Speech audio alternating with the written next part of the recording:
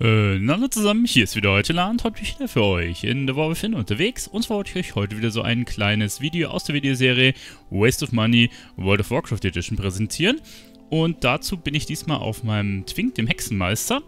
Ähm, diesmal habe ich tatsächlich schon alles an Gold ausgegeben. Ich werde euch jetzt mal zeigen, was wir uns alles geholt haben. Ich habe nämlich eine beträchtliche Summe an Gold investiert, könnte man sagen, um folgendes Achievement mitzuholen.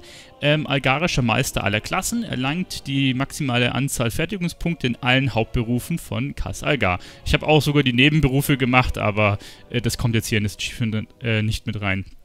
Was müssen wir dafür machen? Naja, wir müssen, wie es schon drin steht, einfach die kompletten Berufe alle hochskillen. Es ist jetzt noch ganz am Anfang der Expansion, äh, die erste Woche der Season, da habe ich das jetzt fertig gemacht und ähm, ja, ich sag mal so, die Mats sind nicht gerade günstig und dementsprechend war das alles ein bisschen teurer. Und was ich jetzt, wie viel oder wie viel ich jetzt für jeden Beruf ausgegeben habe, das will ich euch jetzt einmal zeigen. Und zwar ähm, habe ich da wieder eine schicke Tabelle eingelegt. Ich habe das jetzt auch schon ein bisschen vergrößert. Ich hoffe, es blendet jetzt nicht zu arg rein. Ähm, und zwar habe ich ausgegeben für Angeln 0 Gold. Gut, ich sag mal so, da könnte man sich auch so einen Faden holen, den habe ich aber nicht gekauft. Aber das habe ich schon auf Max gemacht. Ich glaube, bei Angeln ist es sogar 300, ne? Nicht 100, aber egal. Also Angeln habe ich auf jeden Fall auch gemaxt. Dann für Kochen habe ich tatsächlich nur 10k ausgegeben, also es war relativ günstig. Dann auf meinem Main habe ich Schmied und Lederer. Da habe ich zusammen ähm, 289.000 ausgegeben. Was das alles beinhaltet, werden wir gleich noch drauf eingehen. Ähm, natürlich auch beide auf 100. Dann Schneider und VZ habe ich zusammen 432k ausgegeben. Ich hätte es jetzt ganz gern auch einzeln aufgeführt, aber da ich dann immer parallel für beide Berufe eingekauft habe, war es immer ein bisschen schwierig zum Abgrenzen tatsächlich. Dann auf meinem Inschriftenkunde-Char habe ich 195.000 ausgegeben, auf dem Aichi 101.000, Inchi habe ich 400k ausgegeben, Juve 169.000, Bergbau Kräuterkunde 60k. Achso, das habe ich jetzt vorher fertig gefahren, das habe ich jetzt auch auf 100. Ähm, das Kräuterkunde war übrigens der letzte Beruf, ne, den ich auf Max gemacht habe. Da muss ich noch ein bisschen extra farmen. Und Kirschner habe ich 25k ausgegeben. Wer sich jetzt fragt, warum hast du Gold für Kirschner und Bergbau und sowas ausgegeben? Ich habe mit jedem Beruf mir direkt ähm, diese Verzauberungs- oder hier diese algarischen Zauberkunst-Abhandlungen oder bei Schneider heißt dann eine Schneiderei-Abhandlungen gecraftet und zwar immer 20 bis 25 pro Beruf. Die kosten so, matt kosten so ein bisschen über 1000 Gold, würde ich mal sagen.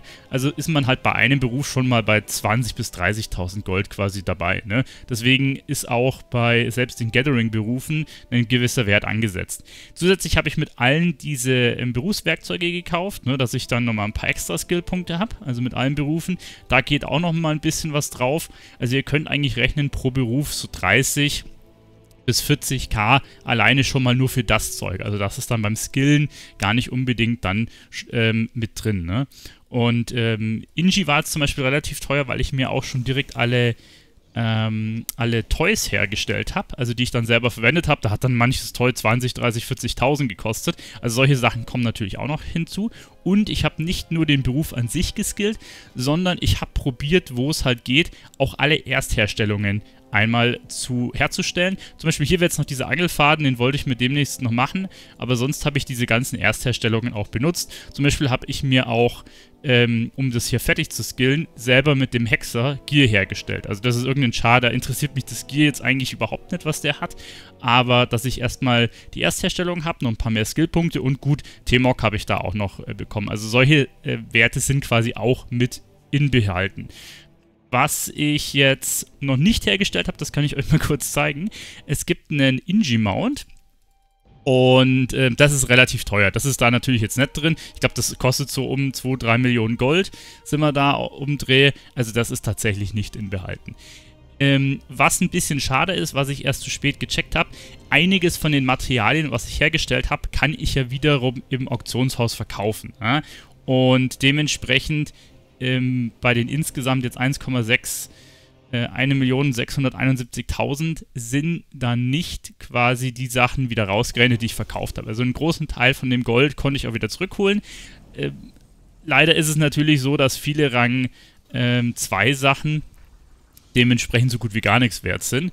Und äh, man da nicht viel rauskriegt. Bei manchen anderen kriegt man tatsächlich schon ein bisschen was raus. Ich kann euch mal kurz äh, zeigen, was ich mit dem Ingi-Mount meine. Jetzt gehen wir hier auch mal auf Erstherstellungsbonus-Geschichten. Ähm, da gibt es dann zum Beispiel einmal hier einen Mount, ne? Da kannst du rechnen, ja, ist jetzt schon 1.200.000, 1.920.000, äh, also 2 Millionen zum Grund herstellen. Und ja, theoretisch könnte man sogar Gewinn mitmachen, sehe ich gerade. Hm. Hm. Für wie viel ist denn das Maha drin? Es ist halt ein Gegamble, ob das dann jemand kauft. Eins ist im Auktionshaus drin. Interessant. Ja, also das könnte man sogar vielleicht flippen. Selber brauche ich es natürlich auch noch. Also eventuell wird das in eine der nächsten Folgen dann reinkommen. Das muss ich mir noch gucken. Als erstes wollte ich tatsächlich aber jetzt noch mal die ganzen Rezepte angehen. Die T-Mox, das wird jetzt so in den nächsten Folgen kommen.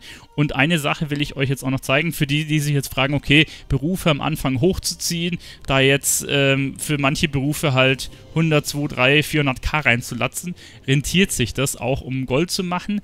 Ich würde sagen, jein. Also ich habe das jetzt primär gemacht, um einfach die Berufe fertig zu haben. Und vor allem, ich habe es jetzt frühzeitig angegangen, es gibt ja auch dieses Berufswissen. Und du musst ähm, auf 25 kommen mit den Berufen, um dementsprechend das Wissen, also alle wöchentlichen Quellen zu holen. Dann gibt es aber ja blöderweise auch noch Quellen ähm, von diesen Kundenaufträgen und umso mehr Rezepte du hast, umso mehr von diesen Dingern kannst du holen. Dann brauchst du halt eigentlich mehr Rezepte, für mehr Rezepte brauchst du mehr Skill und dann geht eins zum anderen. Deswegen dachte ich mir, komm, ich möchte möglichst schnell diese ganzen Berufswissensgeschichten holen und die Berufe ausskillen. Und dementsprechend ähm, habe ich mir jetzt dazu entschieden, die gleich am Anfang hochzuziehen. Bei manchen Berufen kann man tatsächlich sogar auch Gold rausholen und das will ich euch jetzt mal schnell zeigen noch, bevor wir jetzt hier einen Cut machen, dass ihr vielleicht auch noch einen kleinen Mehrwert raus habt. Einige Berufe sind, sind quasi so gelagert, dass ihr hier ein Rezept habt ne? und mit Rang 2 Mats könnt ihr das einmal craften. Hier brauche ich zum Beispiel 2700 Gold, um das zu craften auf Rang 2 und ähm, bei den anderen sieht es hier genauso aus. Wenn ich aber jetzt hier quasi mein, äh, meine Ressource benutze, wie heißt die nochmal? Ähm, Konzentration. Die lädt sich automatisch auf bis zu 1000 und die kann ich dann hier benutzen. Das braucht zum Beispiel jetzt 300 irgendwas Konzentration. Ne? Also das ist einfach eine Sache, wo ich warten muss, bis sich die auflädt. Die kann ich benutzen und dann kann ich das Ding auf Rang 3 herstellen. Und die kosten mich jetzt alle zum Beispiel 2700 irgendwas zum, ähm, zum Craften. Und wenn ich die Konzentration nutze für Rang 3, dann ähm, kann ich die Sachen hier für 11 oder 12k verkaufen. Also mache ich ja fast 10.000 pro Ding plus. Ne? Klar, es dauert immer ein bisschen, bis die Konzentration sich auflädt, aber damit kann man halt stetig, passiv quasi ähm, Gewinne mit, mitnehmen. Ob das hier, wie lange das jetzt noch der Fall sein wird, ne, dass die Preise so hoch bleiben und wie, wie das dann in Zukunft ist, sei jetzt mal dahingestellt. Aber es kann sich schon auch lohnen, die Berufe hochzuziehen und dann dann mit auch ein bisschen Gold so über die Expansion mitzunehmen. Wo, wo ich jetzt persönlich ähm, ein bisschen Gold mitgenommen habe, ist einmal über Verzauberkunst, da mache ich passiv ein bisschen was. Gleiches Prinzip ist beim Juve mit äh, Juwelen, Rang 2 Mats kaufen und dann quasi mit der Konzentration die Juwelen auf Rang 3 herstellen. Das ist ähnlich. Bei Inschriftenkunde ist es mit Verträgen und ähm, so Schreiben so, ne? Und bei den anderen Berufen, da fällt eigentlich nicht viel ab. Alchi sind es noch tatsächlich Flas, da ist auch gut. Also Flas ähm, beim Alchi funktioniert auch. Mit Inji eher schlecht. Ähm, Schneider, da gibt es so komische Stoffe. Und, aber die sind irgendwie voll im, im Miese-Bereich, also das Rind zieht sich überhaupt nicht. Selbst, ähm, wo war es denn hier? Ich glaube, die Stoffe sind's. Na gut, da habe ich jetzt die Dinge nicht. Wobei, die sind doch im Plusbereich jetzt, aber nur geringfügig. Ähm, ja. Und mit den, mit den anderen Craft-Berufen, da geht es halt darum, dass du halt eher im Handelschannel postest. Mit Schmied und Lederer zum Beispiel habe ich immer gepostet, Leute gesucht, die sich was craften lassen wollen. Aber das ist halt eine elendige Sache, ich sag's euch. Wenn ihr da ewig rumsteht und postet. Ich habe da persönlich jetzt nicht so viel Bock drauf, weil man steht halt nur im Handelschannel rum oder in Hauptstadt, um Handelschannel zu posten. Ja, ich habe lieber solche Cooldown-Sachen, da logge ich alle ein, zwei Tage ein, crafte die paar Dinger, mache dann vielleicht 10, 20k mit, mit den Sachen und log weiter.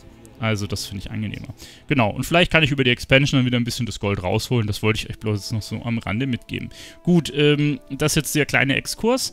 Ähm, um vielleicht nochmal aufs Thema wirklich zurückzukommen, im Ende hat mich das Ganze jetzt 1,671 Millionen gekostet, also ein bisschen über eineinhalb. alle Berufe hochgezogen und bestimmt die, ähm, ein Drittel bis die Hälfte habe ich durch die Sachen, wo ich geskillt habe, bestimmt eh wieder reingeholt. Ne?